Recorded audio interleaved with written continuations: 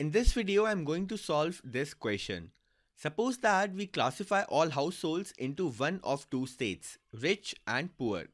The probability of a particular generation being in either of these states depends only on the state in which their parents were.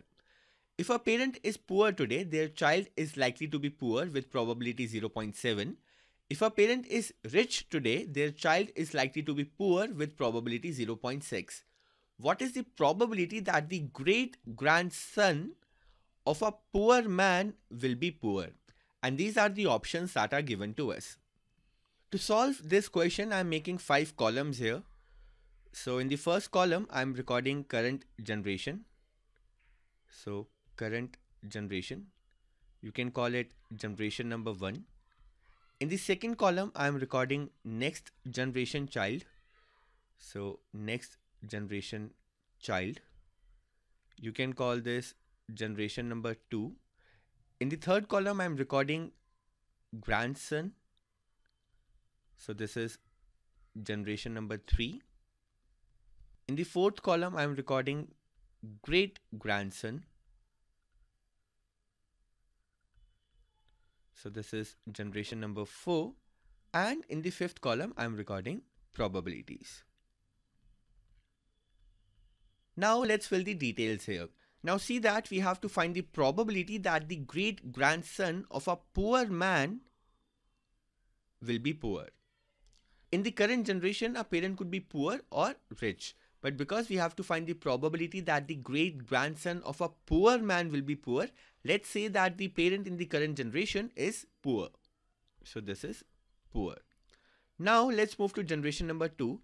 In generation number 2, the child of this poor parent could be rich or poor. And we are given in the question that if a parent is poor today, their child is likely to be poor with probability 0.7. So this probability is 0.7. Consequently, this probability is 0.3. Well, let's move to generation number 3 now. In generation number 3, the child could be rich or poor depending on the state of the parent.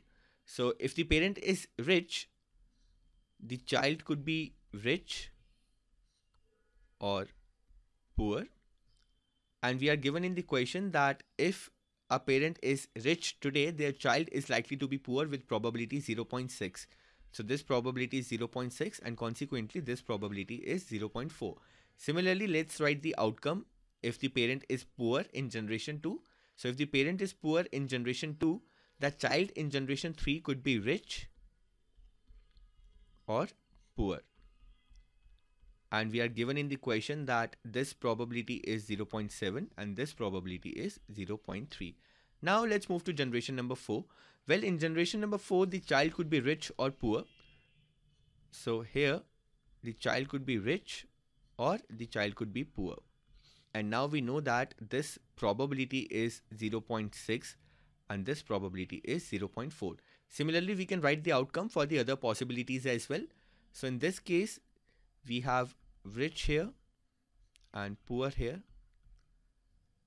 And this probability is 0.7 and this probability is 0.3.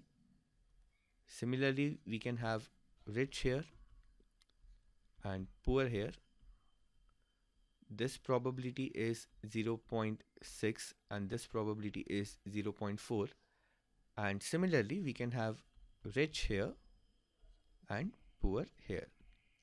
And this probability is 0.7 and this is 0.3 so this is the probability structure.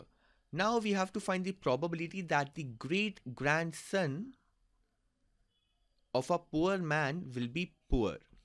Okay so that means we have to find the probability that this happens.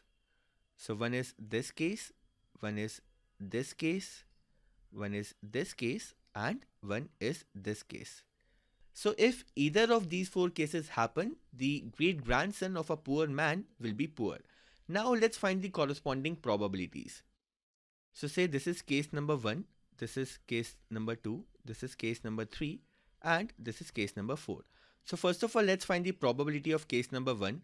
Well, the probability of case number 1 is 0.3 multiplied by 0.4 because this should happen and this should happen and this is multiplied by 0.6.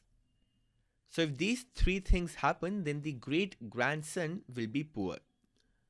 So that means the probability of case number 1 is 0.3 multiplied by 0.4 multiplied by 0.6 and this is equal to 0.072.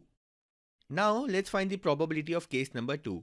Well the probability of case number 2 is 0.3 multiplied by 0.6 multiplied by 0.7 because all these three things should happen to make sure that the great grandson is poor.